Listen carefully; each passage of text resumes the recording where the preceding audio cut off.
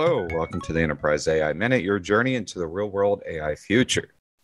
This episode is brought to you by Cloud Wars Expo. It's running on June 28th through 30th at Moscone Center in San Francisco, California, where I'll be there leading tracks and sessions alongside Bob Evans, founder of Cloud Wars, and the rest of my acceleration economy analyst colleagues. For more details, go to cloudwarsexpo.com to learn more and join me there. Join thousands of CXOs June 28th to 30th in San Francisco, California at Cloud Wars Expo as we explore a new metric called the time to dazzle, exclusively focused on how long it takes to dazzle customers with new business models that are enabled by the cloud, empowered by AI, and optimized with human ingenuity. Register today at cloudwarsexpo.com and join a movement to make dazzling customers the metric that matters.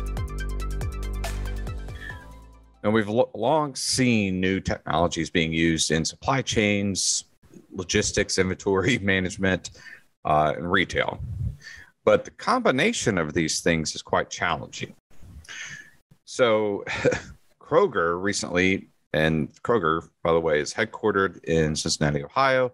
It's a large supermarket and food processing company with almost 2,800 grocery retail locations. And recently, that partnered with NVIDIA. Now, we're familiar with NVIDIA from uh, maybe in stickers that you see on your, your laptop computer as far as what's inside. Um, but uh, this interesting partnership here is between Kroger and NVIDIA, and they're looking to build an AI lab and a demonstration center. Now, the goal here is to leverage digital twin simulations. And this is to enhance shopping experiences, help them improve uh, logistics, and expand on their initiatives for freshness. According to the VP of Technology, Wesley Rhodes, the core goal of this effort is to provide customers with anything, anytime, anywhere. Now that's that's quite the tall order considering how food has seasonality, distribution considerations, high expectations from people uh, that they have around their produce, for example. Now, this effort will use the digital twins to optimize store layouts and workflows. Uh, we even look to use ro- robots for navigation for faster order fulfillment and much more. So, why would Kroger go to all this effort and investment in AI? For me, it boils down to two words customer experiences. And this dictates a lot, and it has changed the way that a lot of CXOs are making their decisions. And now with AI in the picture here, it's really changing how CXOs think and make those decisions.